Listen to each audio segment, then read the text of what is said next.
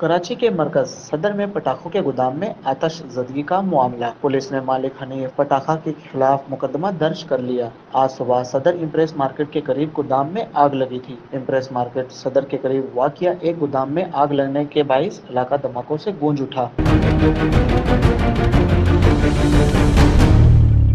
आग इस कदर शदीद थी कि करीबी इलाकों में खौफ व हिरास फैल गया। फायर ब्रिगेड ने सूरत हाल पर कंट्रोल किया। वाकया आतशगीर मादा के गोदाम में होने के बायस पेश आया। आग, पटाखों, चाइना बम और अनार फुलझड़ियों में लगी थी। गोदाम में आग लगने से धमाके की आवाज़ें दूर दूर तक सुनी गई। बस अड्डे से मुतासर पटाखों के गोदाम में लगी। वक्तन व वक्तन छोटे छोटे धमाके होते रहे। धमाकों से करीबी इमारतों के रिहाइश खौफ खौफजदा हो गए। आतजदगी से अब तक गाड़ी और ट्रक को नुकसान पहुँचा। Shoaib Parvez N news Karachi